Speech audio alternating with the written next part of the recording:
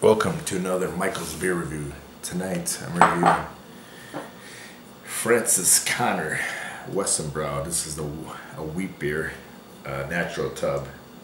It's a Hefeweizen. And this is probably, I think like 5% alcohol.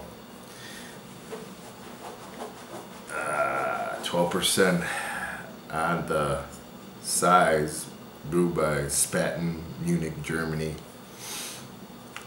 Um, try it out. I've had this. I always think it's an excellent beer, but let's see tonight too.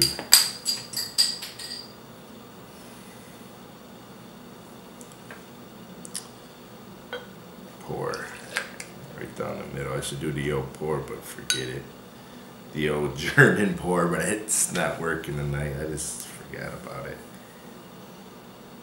Um, always a good looking cloudy.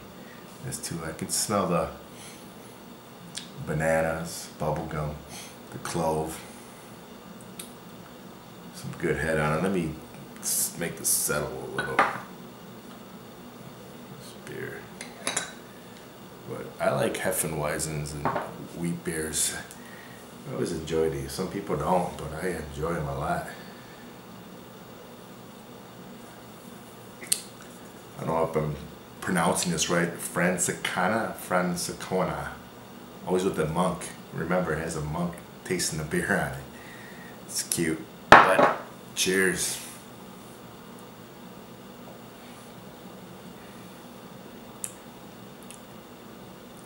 You can taste the wheat up front taste the, the, cleanness because it's not adjuncts. It has a banana like aftertaste to it. Clove, coriander.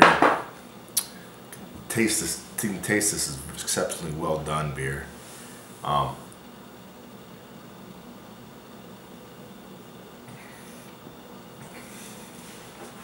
always hits the spot, man.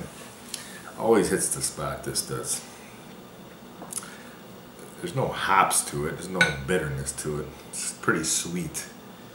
But it's balanced out. It's not overly sweet. Sweet done uh, complex sweet like the bananas and the, and the cloves and the coriander.